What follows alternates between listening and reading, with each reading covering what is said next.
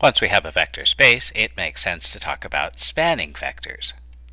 So the good news about working in the Latin alphabet is you only have to memorize the shapes of 26 randomly drawn characters to be able to read and write anything.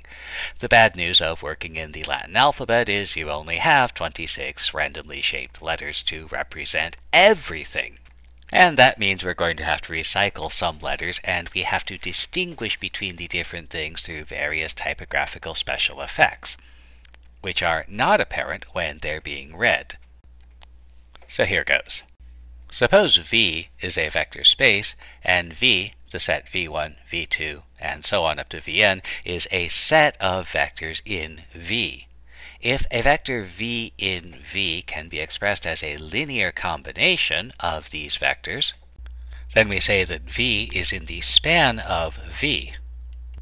More generally, let V be any set of vectors. The set of all linear combinations of these vectors forms the span of V. And it's designated with the rather exotic notation span V. Let's see if we can prove or disprove that a given set of vectors spans a particular vector space. How about R3? So suppose I have some vector b with components b1, b2, and b3. If possible, I'd like to express my vector b as a linear combination of the vectors in V. And this gives us a system of equations. We can row reduce the augmented coefficient matrix, Then use back substitution to solve for x3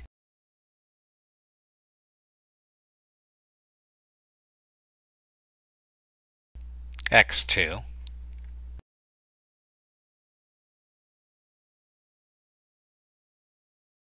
and x1. And notice that this means that whatever the values of b1, b2, and b3 are, we can always find a linear combination that will give us the vector b. In this case, notice that the vectors in our set also lived in R3. And so in this case, we had a set of vectors that spanned all of the vector space they lived in. This doesn't always happen. It's possible that given a set of vectors, they might not span all of the vector space they live in. But whether or not they do, a very important thing happens. If I have any set of vectors which live in some vector space, the span of that set of vectors is also a vector space. And of course this is something you should prove by showing that the set of linear combinations of these vectors satisfies all of the requirements for getting into club vector space. The vector space that we produce is called a subspace of the original. However, it's important to note that this is an inclusive definition, so the subspace might potentially be the entire thing.